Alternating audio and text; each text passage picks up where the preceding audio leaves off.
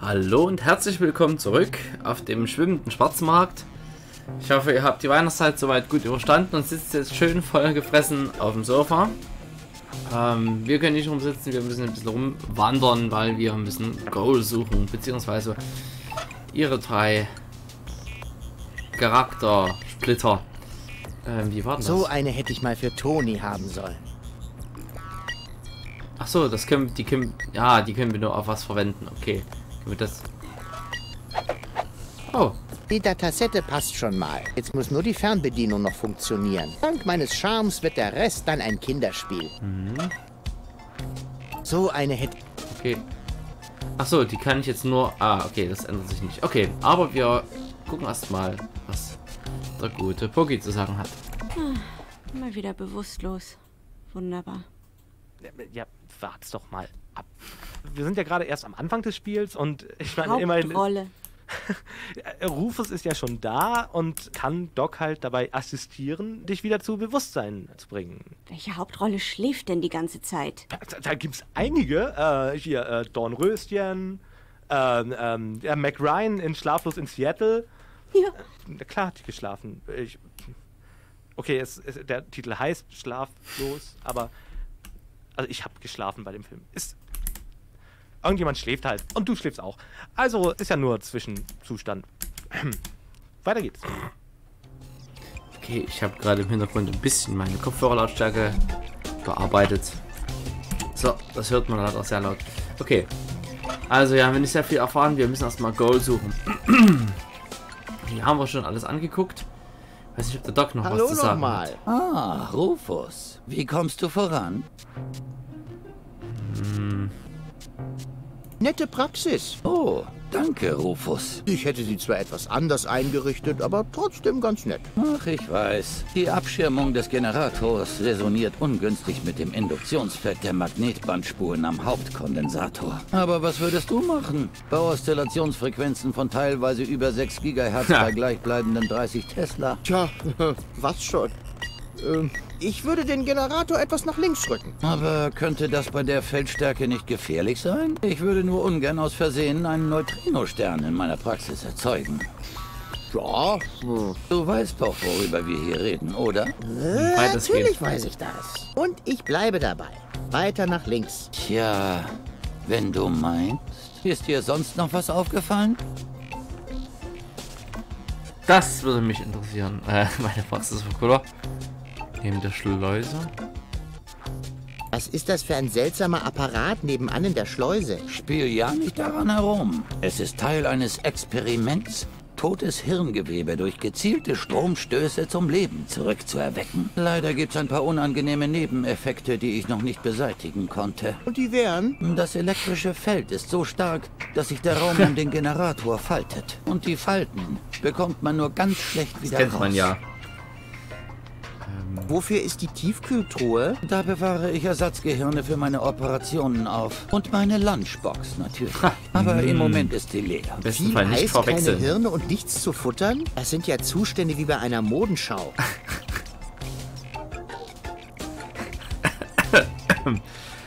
Entschuldigung, da muss ich da gleich husten. Bald geht's wieder los. Topmodel. Na? Könnt ihr euch frisch machen, im wahrsten des Wortes. Ähm, Meine Praxis war cooler und größer. Wirklich? Die im Haus deiner Ex-Freundin? Ja, nicht nur größer. Es haben auch mehr Sachen geblinkt. Und sie hatte auch mehr von diesen Dingern da neben der Tür. Lichtschalter? Genau. äh. Achso, ich wollte. Mh. Ich Nette wollte. Praxis. Oh. Ich hätte sie. Ach, die Abschirmung. Aber was würde... Tja, ich würde den. Aber ich würde... So weit... Und ich. Tja, ist dir sonst... So, das Kann ich mir. Werkzeug von dir ausborgen? Bedien dich ruhig. Ich muss hier ohnehin nur noch ein paar Feinjustierungen vornehmen. Und dafür brauche ich nur Hammer und Kaugummi. 1A. Okay. Meine Punkte. Wird Die nicht. Ja, ja, ja, ja, ja. Genau. Okay. Was ist schiefgelaufen? So wie es aussieht, hat hier Gilligan die falschen Datasetten angedreht. Dieser Verbrecher. Bowles Bewusstsein ist jetzt auf die drei Datasetten verteilt. Auf jeder Datasette Moment. sind unterschiedliche Aspekte so, eine hat sie drin. Charakters abgespeichert. Passt schon. Kennst du eine Facette eines Charakters, kennst du sie alle. Ähm, Jein. Welches ist denn die echte Goal? Nun, jede einzelne und keine. Äh, ah ja. Wie bei der Zucht von Mimikry-Wombats. Was? Nein, die drei Goals sind jeweils Teilaspekte der echten Goal. Aber die Summe ist mehr als die einzelnen Teile. Also doch wie bei den Wombats. Die Biester vermehren Wombat. sich wie wild, wenn man nicht aufpasst. Was? Nein, egal. Sagen wir einfach, wir brauchen die Kooperation von allen drei einzelnen das kann Goals. spannend werden. Ohne ihre Zustimmung kann ich sie nicht wieder zusammensetzen. Das musst du mir nicht sagen. Auf diese Weise habe ich mal fast einen Finger verloren. Verfluchte Mistviecher. Ähm, okay. Das haben wir. Wir müssen Goal unbedingt wieder hinbekommen. Ich arbeite ja dran. Überzeuge du sie einfach, dass sie sich der Operation unterzieht. Also, alle drei Versionen von ihr. Benutze die Fernbedienung, um die Datasetten zu wechseln. Wenn du alle drei überzeugt hast, schick sie zu mir ins Labor. Den Rest erledige ich dann schon. Okay. Wie ging das gleich mit dem Datasettenwechsel? Benutzt die Fernbedienung, wenn du nah an ihr dran bist. Damit trennst du kurzzeitig ihr Bewusstsein von ihrem Körper. Je nachdem, welche Datasette gerade in der Fernbedienung liegt, wird dann ein neues Bewusstsein in die Datasette in ihrem Implantat geladen. Während das Bewusstsein, das sich vorher in ihrem Hirn befand, erst im Äther gepuffert und schließlich auf die Datasette in der Fernbedienung aufgespielt wird. Cool. Ähm, okay. Normalerweise fragen mich die Leute an dieser Stelle eher, ob das nicht gefährlich ist. Tja, ich bin halt nicht so ein Weichei wie die anderen. Ich meine ja nur wegen bleibender Hirnschäden und so. Im Gegenteil. Ich bin lässig. Der lässige Sheriff Rufus mit seiner tödlichen Fernbedienung des bleibenden Hirnschadens. Ähm, oha. Okay. Ich werd dann mal wieder. Tu das. Okay, also mehr können wir nicht machen. Wir haben jetzt hier die äh, Datasetten in der Fernbedienung. Na, wir gehen einfach mal los. Ähm, viel mehr haben wir ja nicht. Wir gehen einfach mal raus. In die Schleuse. Was könnten wir denn hier noch machen? Das ist ein Techno-Flux-Induktor-Dingens. Sowas erkenne ich sofort. Ach, das hatten wir ja schon, glaube ich, ne? Ob da wohl Sift drauf ist? Spiel nicht an den Gerät, wenn du nicht... Okay, gut, das hatten wir schon alles. Dann gehen wir raus. Ähm, das hat sich alles geklärt. Farbeimer können wir nichts machen. So. Das haben wir geklärt. Das haben wir geklärt. Ofen. Karte. Hier ist noch rauf. Das bringt... Äh, wir, können ja mal die Fragezeichen abklappern. Gehen wir erstmal hierher. Ich finde die Musik übrigens sehr schön hier im Hintergrund.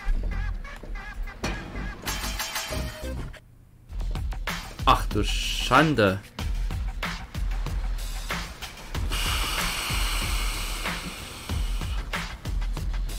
Okay, das ist viel. Das ist unglaublich viel. Moment, da gehen wir noch mal kurz zurück. Ich habe diesen Screen in ganz dunkler Erinnerung, aber dass das jetzt gleich kommt, boah. Okay, ähm, das ist wie Sande Blick. Was haben wir denn bei Tobi? was man nicht alles tun muss, um ein Spiel zu designen. In diesem Falle zum Beispiel Rohre verlegen. Dieses Rohrlabyrinth da oben, das wird im späteren Verlauf noch eine größere Rolle spielen. Das haben wir mehrfach umdesignen müssen, weil, aber da erzähle ich gleich wahrscheinlich mehr oder später wahrscheinlich mehr. Dazu gibt es nämlich ein kleines Minigame. Ihr habt es Habe wahrscheinlich ich schon erfahren. mir gedacht. Aber wir haben ja vor allen Dingen durch das gesamte Level auch noch Rohre verlegt. Und zwar haben wir, das ist eins der fiesesten Rätsel, sollte es ursprünglich mal sein, zumindest in Kapitel 4, weil es halt ein, ein Rätselkomplex ist, wo man unterschiedliche Sachen miteinander kombinieren und in Beziehung setzen muss. Und unter anderem eben auch verschiedenfarbige Rohre, die wir durchs gesamte Level verlegt haben.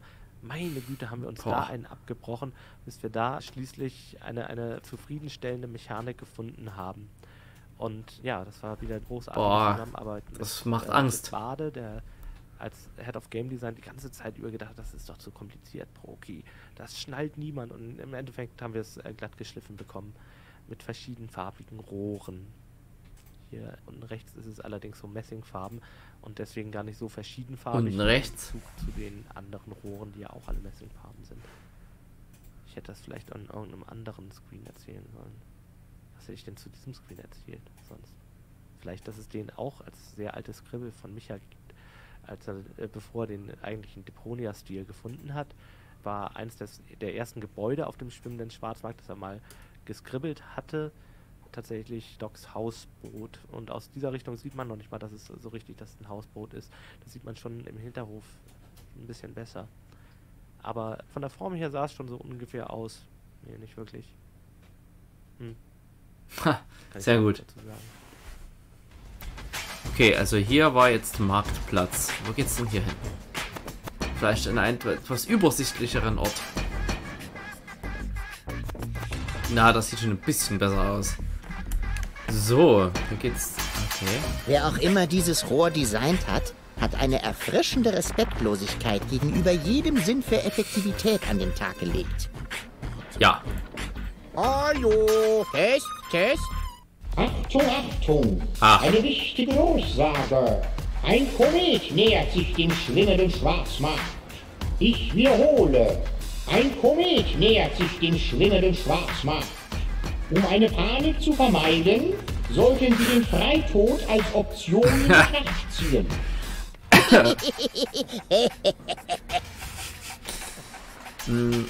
Bei diesem Screen, den man gerade gesehen hat, dort unten. Ähm, da kommt vielleicht noch ein schönes Detail. Vielleicht. Wenn ich mich recht erinnere. Damit lässt sich das Rohr verschließen. Im Augenblick ist es auf. Na super, jetzt ist das Rohr zu, aber gebracht hat es mir gar nichts. Ich lasse es wohl lieber erstmal auf und behalte das für den Fall der Fälle im Hinterkopf. Okay. So. Tür. Ich fasse es nicht. Es ist mir egal, ob ihr die neuen Nachbarn seid. Da könnte Stefano. Stiletti persönlich mit einem Kuchen vor der Tür stehen. Ich würde ihm trotzdem mit der Nagelpistole... Was zum... Ach. Wer bist du denn? Ach, sie. Ja, das ist dezent, ne? Schön ähm, rosa, aber mit diesen Stacheln hier. Was hast du denn so im Angebot? Im Moment hauptsächlich Stich- und Schnittwunden für nervende Hausierer. Holla, die Waldfee. Ich hätte gerne ein Messer. In den Bauch oder ins Auge. Kannst du beides haben. Gott. Findest du es klug, so mit potenziellen Kunden umzuspringen? Du willst ein potenzieller Kunde sein? So wie du rumläufst? Sei froh, dass ich dich noch nicht erschossen habe. Mit Betonung auf noch. Ich glaube, ich habe mich verlaufen. Das glaube ich allerdings auch. Aber ich habe eine gute Nachricht. Oft wird dir das nicht mehr passieren. Weil ich den Weg dann kenne, nicht wahr? Eher, weil dir dann die körperlichen Voraussetzungen fürs Laufen Ach, fehlen die werden. Rauch. Oh. Ich gehe dann mal wieder. Und wehe, du gehst mir noch mal auf die Nerven. Äh, was passiert, wenn wir nochmal klopfen? Ich fasse es nicht. Es ist mir egal, da könnt... Was zum... Was willst du denn schon wieder? Okay. Das bringt Ich gehe dann mal wieder. Und wehe, du gehst mir noch mal auf die Nerven. Ich weiß nicht warum, aber ich bin sehr interessiert gerade an diesen. Was ist denn. Man kann das angucken? Als Nee. kreativer Leiter eines Spielprojekts muss man manchmal auch einfach nur großes Vertrauen in sein Team haben.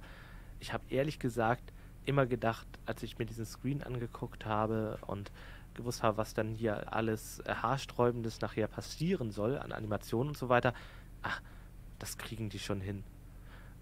Obwohl ich es mir einfach nicht vorstellen konnte. Ich wusste nicht, wie es aussehen sollte. Ich hatte keine Vision von, von den Animationen, die in diesem Raum stattfinden sollten und wie die halt irgendwie skripttechnisch eingebunden werden sollten. Und ich habe einfach, ach, das kriegen sie schon hin. Manchmal hat man einfach so eine gewisse innere Ruhe und dann haben sie sich rangesetzt und ja, sie haben es hinbekommen. Glück gehabt. Ja, kann man so sagen. Ich bin gespannt, was da noch kommen soll.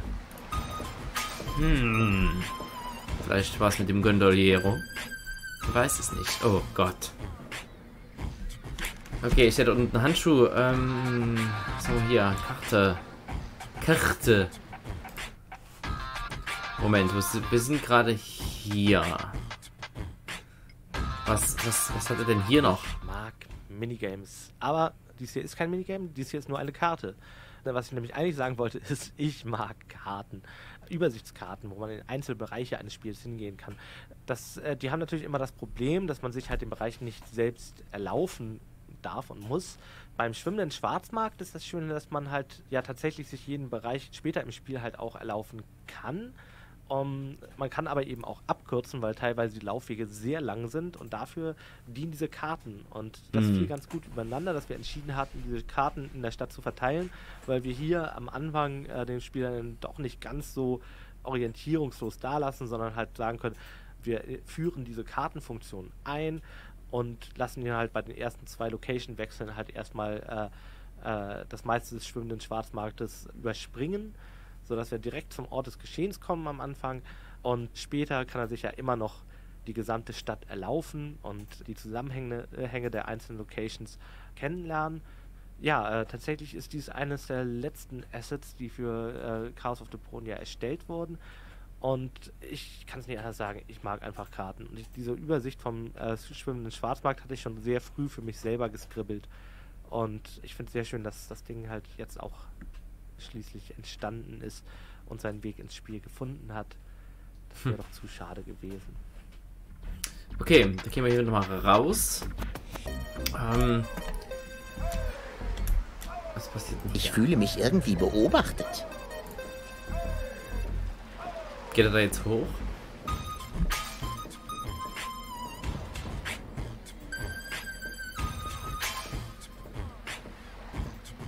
Ach nee, wenn jemand zuguckt, kann ich nicht. Äh. Oh, den kennen wir doch. Hey du, was schleichst du hier rum? Meinst du etwa So, deswegen auch nur ein Natürlich Auge dort ich im dich. Periskop. Oder hast du noch einen unsichtbaren Kumpel dabei? Ha, wenn ich einen Kumpel dabei hätte, wäre der bestimmt nicht halb so unsichtbar wie ich. Denn Unsichtbar, ich bewege mich unauffällig wie ein Ninja. Hey, ja. Von wegen, Haltung. bei deinem Getrampel würde ich dich selbst dann noch bemerken, wenn du durch den goldenen Drachen der Unsichtbarkeit aus Gilligans Gadget Shop getarnt wärst. Ha, was ein Ah. echter Ninja ist, der braucht doch keine Gadgets. Ich kann mich jederzeit mittels meiner Also, geheimen Stealth-Kräfte in Luft auflösen. Dann tu das bitte. Ich will dich hier nicht mehr sehen. Verstanden? Okay, der Typ ist etwas, was... Okay, es passiert genau dasselbe, oder? Ja, Du schon. Ich hab dir doch gesagt, dass du verschwinden sollst. Bin ich ja auch. Ich bin eins mit dem Schatten. Wusch. Du hast zwar einen gewaltigen Schatten, aber das ist nicht dasselbe. Bei deinem Getrampel würde ich dich selbst dann noch bemerken, Ja, wenn du das durch ist den wichtig. goldenen Drachen... okay, in Gilligans Gadget Shop gehen wir auf jeden Fall nochmal. Was ist denn das? Welcher Amateur hat die denn montiert? Die müsste dringend mal neu ausgerichtet werden. Dann wird das vielleicht Rufus die Hand nehmen. Vielleicht. Welcher Amateur hat die denn montiert? Die müsste dringend mal neu ausgerichtet werden. Äh, Upsi, warum passiert mir das eigentlich immer bei Antennen? okay. Damit könnte ich bestimmt die Reichweite der Fernbedienung erhöhen. Dann könnte ich Goal bequem von der Couch aus hin und her schalten. Fehlt nur noch die Couch. Damit könnte ich... Dann fehlt nur noch... Okay, äh, Irgendwas Nützliches muss ich daraus doch basteln lassen. Ein Werkzeugkasten für Unterlegscheiben. Hm, bah. Schraubenzieher, warum eigentlich die Kurbel? Bei Goal ist zwar definitiv eine Schraube locker, aber Lockerheit ist ja an und für sich was Schönes. Hm, an der richtigen Stelle. Okay, hier ist auch wieder Fragezeichen angesagt. Ähm, Das hier ist offenbar eine richtige Hand. Von Würfelspielen halten die hier wohl nichts. Go, go! Rufus Gummiarm! Tja, also sonst klappt das immer. Fußgummiarm. Ach, ach so. Ach nee, Moment. Klein Venedig. Zum Marktplatz. Mal kurz gucken. Ach, jetzt sind wir hier rausgekommen. In den Hafen. Okay. Generator. Ah. Notenständer. Stoßstange. Ah, Gondel, Gondoliero. Den Gondoliero kennen wir doch. Zum Dock. So, jetzt könnten wir uns ja vielleicht mal hier Das umgucken. sind ziemlich mickrige Köder. Kein Vergleich zu meinem epischen Walköder aus phosphoreszierenden Sardellen. Den gucken wir uns doch mal genauer an. Die will ich nicht. Das sind ziemlich mickrige Köder. Kein Vergleich. Ja, ja, ja. Okay, das ist Boses Kutter. Hm. Was mache ich denn zuerst? Die Welt retten? Den Hirnschaden meiner Freundin reparieren? Ach nein, ich weiß. Ich schaue mir diesen Eimer an. Schön.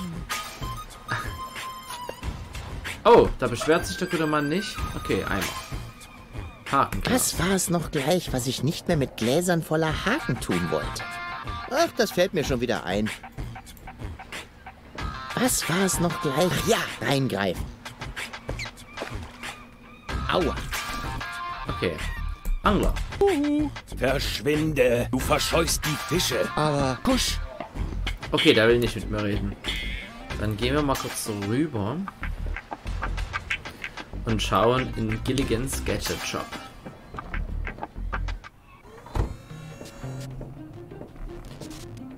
So.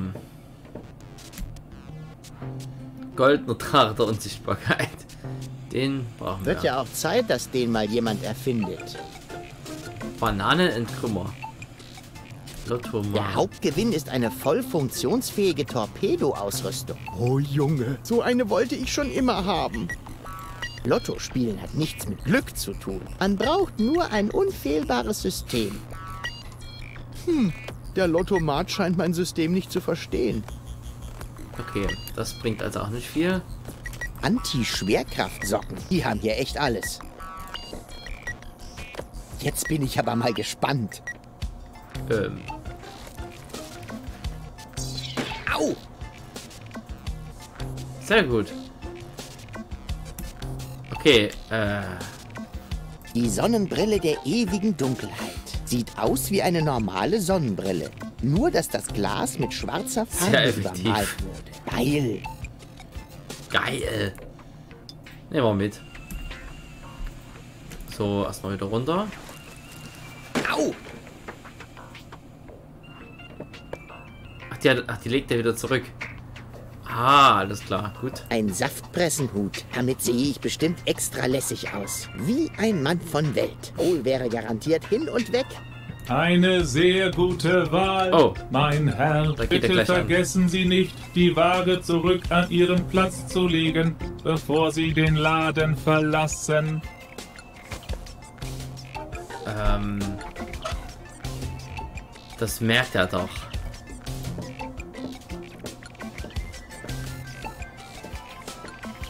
Es tut mir sehr leid, mein Herr, aber die Ausstellungsexemplare dürfen unter Ja. keinen Umständen aus dem Ladenbereich entfernt werden. Ich weiß nicht, wovon du redest. Ahem. Ist ja schon gut.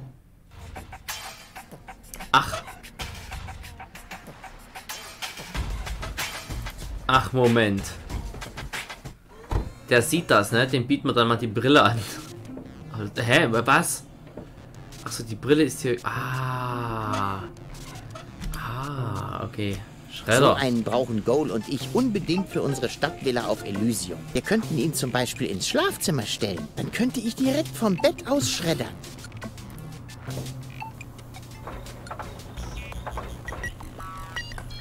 Ja. Ähm. Und was ist das hier? Was Sie dort nicht sehen, ist der goldene Drache der Unsichtbarkeit. Es tut mir sehr leid, mein Herr, aber bei dem goldenen Drachen der Unsichtbarkeit handelt es sich nicht um ein Vorführmodell. Ich habe ihn gar nicht angefasst. Ich wollte nur meine Finger etwas ausstrecken und Ahem. ist ja schon gut. Okay. Moment. Dann legen wir nochmal die Socken an. Jetzt bin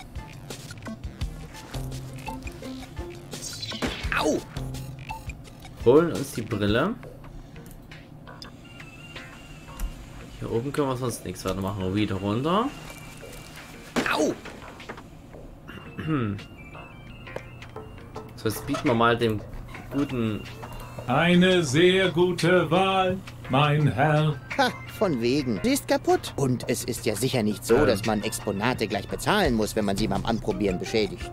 Oder, oder wie? Bezahlen Sie bar oder per Organspende. Oh, ich sehe gerade, sie ist ja doch nicht kaputt. mein Fehler. Verdammt, eine Erkenntnis wäre jetzt nicht übel. Es tut mir sehr leid, mein Herr, aber es ist nicht erlaubt, die Probeexemplare zu zerstören. Mache ich ja auch nicht. Denn laut Etikett ist diese Sonnenbrille hier unzerstörbar. Das ist korrekt. Na dann, Ha. Ha. Ja. Ha. ich wusste doch, dass ich sie kriege. Man sollte mich eben nie herausfordern. Was passiert, wenn man das jetzt... Eine sehr gute Wahl, mein Herr. Ha, von wegen. Sie ist kaputt. Und es ist ja sicher nicht so, dass man Exponate gleich bezahlen muss. Bezahlen Sie bar Oh, ich sehe gerade, sie ist ja mein Fehler. Verdammt, eine Erkenntnis. Hä, die ist doch... Hä, ist doch... Ähm... Kann ich vielleicht die Kurbel entkrümmen? Mit diesem Gerät lassen sich ausschließlich Bananen entkrümmen, was ja bereits nützlich genug ist. Okay. Vielleicht der Haken. Mit diesem Gerät... Gut, auch nicht. Ähm... Was hat denn der sonst noch an-? Herzlich willkommen in Gilligans Gadget Garten. Es bedient Sie Ihr Shopomat 2000. Wie kann ich Ihnen helfen? Bist du ein Roboter? Der Gadgetier hat mich gebaut, um ihm im Laden zu helfen. Ein geschickter Schachzug von ihm. Wo ist er jetzt? Diese Information ist irrelevant. Ich bin vollkommen autark. Verstehe. Wo kann der Gadgetier nur sein? Wir wissen es nicht. Wir suchen Seit ihn bereits seit Monaten. Monaten. Ach, ähm... Hier? Ja, wir machen uns große Sorgen. Seine Frau und ich. Der Gadgetier ist also verheiratet. Ja, Camilla ist eine wunderbare Frau. Ich bin täglich bei ihr und leiste ihr Mm, Beistand. Super, äh, Lover. Es muss eine harte Zeit für sie sein. Sie sollte nicht Äh, um einen äh. Mann trauern, der sie im Stich lässt. Sie muss auch nach vorne blicken. Menschen sind so unzuverlässig, nicht wahr? Das sage ich Camilla seit Monaten. Mittlerweile gibt sie mir recht. Roboter sind so viel zuverlässiger, sagt sie. Ähm... Warum ist der Sockel dort leer? Er ist nicht leer. Was Sie dort nicht sehen, ist das mächtigste Gadget Deponias. Goldener Drache der Unsichtbarkeit? Es ist schwer zu glauben, aber er ist da. Ein schönes Gerät, reich verziert. Und seine Kräfte sind unvorstellbar. Reich- reich verziert. aber wagen Sie es ja nicht, ihn anzufassen. Ich glaube, ich kann mich gerade noch zurückhalten. Gut, Was verkaufst du hier denn so? In Gilligans Gadget Garten finden Sie die unglaublichsten Apparaturen auf ganz Deponia. Gucken Sie sich ruhig um. Probieren Sie gerne ein paar Gerätschaften aus. Aber bitte denken Sie daran, die Ware wieder zurückzulegen, bevor Sie den Laden verlassen. Oh, das, Was denkst du denn von mir? Meine so CPU shiftet. hat eine 86-prozentige Wahrscheinlichkeit eines versuchten Ladendiebstahls errechnet. Was? Das ist doch eine Frechheit. Auf welcher Basis denn? Anhand mehrerer Faktoren, so wie sie rumlaufen, zum Beispiel also, das ist diskriminierend. Ich bin da mal wieder weg. beehren sie uns bald wieder. Tja, hm. Mein Lottomat, äh, Bananen. Ich glaube fast. Einmal, wir können jetzt noch nicht viel machen. Ja, das ist der Gadget Shop. Äh, eine meiner Lieblingselemente im Spiel tatsächlich, äh, eigentlich so der, der, der Traumraum für ein, weil wir haben in fast jedem äh, Deponia ja auch einen Laden, beziehungsweise Läden sind sowieso einfach tolle Locations für, für Adventure-Spieler, weil sie da halt sich irgendwie ausrüsten können, Sachen kaufen können. Jetzt haben wir keine Währung hier, aber Rufus kann da wenigstens nach Lust und Laune Gadgets ausprobieren. Aber ja, das ist eben nicht der einzige Spaß, diese total bekloppten Gadgets hier miteinander in Verbindung zu setzen, um halt irgendwie ein, ein, äh, weiteres Gadget zu bekommen. Aha. Sowas wie den tollen Saftpressenhut oder Anti-Schwerkraftsocken. Meine Güte, war das ein Aufwand. Die Anti-Schwerkraftsocken, ich habe mir das so einfach vorgestellt, als wir die Animation für die Anti-Schwerkraftsocken geplant hatten. Und äh, ich dachte, wir drehen einfach Rufus einmal um, wenn er an der Decke lang läuft. Jetzt habe ich es verraten. Aber ja, ich egal. gerade sagen. Und stattdessen hat halt der Animator nochmal einen kompletten neuen Walk-Cycle für Rufus gezeichnet mit einem runterhängenden Mantel, Ach so, der Rufus an der hm. Decke lang läuft. Zu viel des Guten. Aber großartig, dass sie es gemacht haben. Total irre. Aber alle Animationen, die wir da reingesteckt haben, sind natürlich da wieder eingespart worden, wo wir die aufwendigen Animationen von Rufus, wie er halt mit, mit dem goldenen Drachen der Unsichtbarkeit rumläuft, die dafür halt äh, angefallen wären.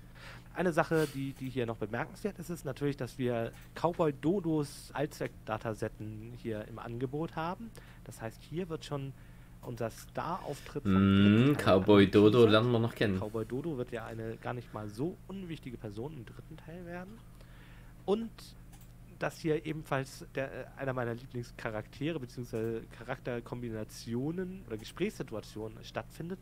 Und zwar dieser Chapomat, der sich mit Rufus halt über den Verbleib von dem Gadgetier, von dem Besitzer des Gadget-Shops unterhält.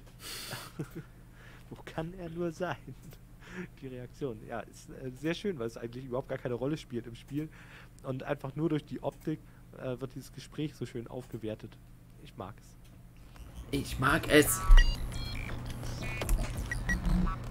Tja, Moment. Ähm, also es wird uns vorgeschlagen, was zu kombinieren. Saft.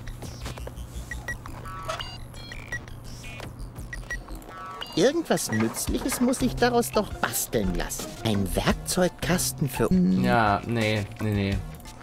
Entschuldigen Sie, mein Herr, aber ich muss Sie darauf hinweisen, dass das Modifizieren, Rekalibrieren und Tunen der Probeexemplare untersagt ist. Auch nicht, wenn sie kaputt sind? Die unzerstörbare Sonnenbrille der ewigen Dunkelheit kann unmöglich kaputt sein. Sie ist unzerstörbar. Boah. Ähm. Die Socken zieht er immer gleich an, ne? Die zieht er gleich an. Jetzt bin ich aber mal gespannt. Au!